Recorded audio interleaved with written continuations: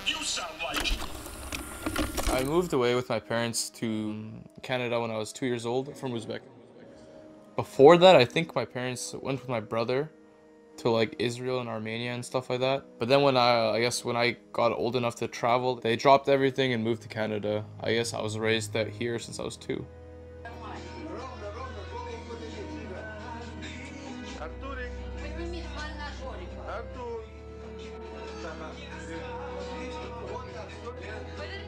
Artur went into elementary school and then he entered high school and he started playing more and more and more. They didn't really care about how much Artur spent, but they still gave him warnings like, listen, you're, pay- you're playing 10 hours a day, you're playing 10 hours a day. As soon as he reached that celebrity status and got, uh, got a sponsorship and got a team, uh, they really backed off and let him do everything um, the way he wanted to do.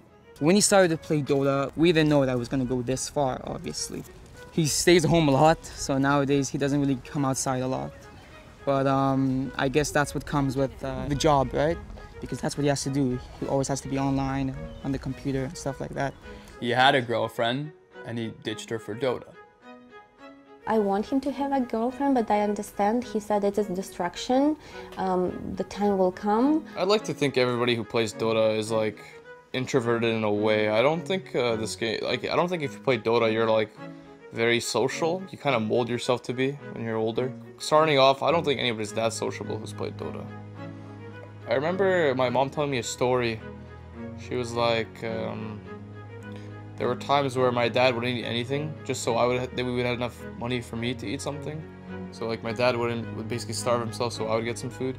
Um, when I when I was younger, I didn't really understand what my parents did, like the sacrifice to, to be here in Canada in my parents' vision of me gaming, they never expected me to drop out of high school or even like stop going to school, university, stuff like that. They never thought I was gonna reach that point. They thought it was just gonna like, I guess they thought that I'd be playing online all the time. They never realized that you could travel across the world, play LANs. When Artur said that he was leaving our home to go to another place by himself, my parents didn't really understand what that meant. They thought he was joking. And then all of a sudden he starts packing up his stuff and my parents couldn't believe that this was actually happening.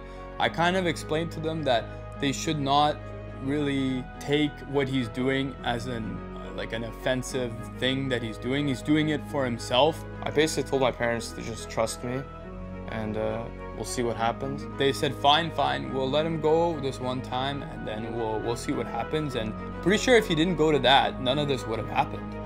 And uh, they knew whatever I was gonna do, I put my mind to it. They, they had faith in me. I think he had uh, ego growing up. I cannot say if it's good or bad. In some circumstances, I think it's very good. Maybe because of that, he's very persistent and uh, stubborn and uh, going forward to his goals. He's just, he's got a lot of drive, he's got a lot of passion. I would say that if he puts his mind on something, he's definitely going to achieve it. And that's what he did. He put his mind on Dota.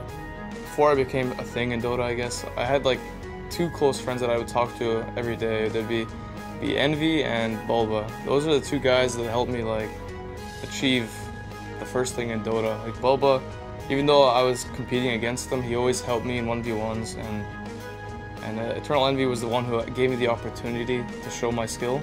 So I'm very grateful for that. I don't know where I would be if uh, Bone 7 didn't have a visa. Who knows? But yeah, I'm very grateful that those guys helped me get to where I am today.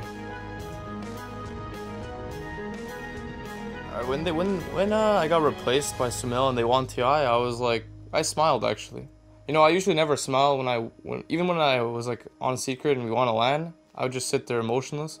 Even though I beat EG like two grand finals, I wouldn't really care. But then seeing like uh, my old teammates win, like Fear, I think he deserved a TI win for sure.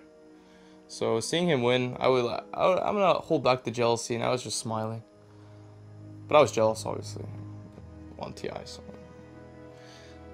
I don't really care about like what people think.